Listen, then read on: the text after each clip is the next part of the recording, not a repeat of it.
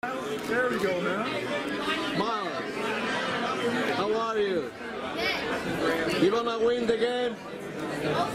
Yes.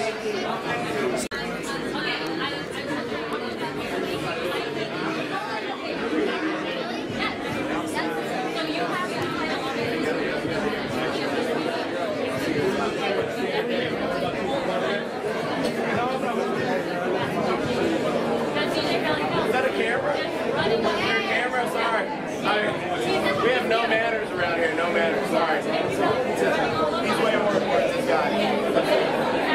Way more important than she is.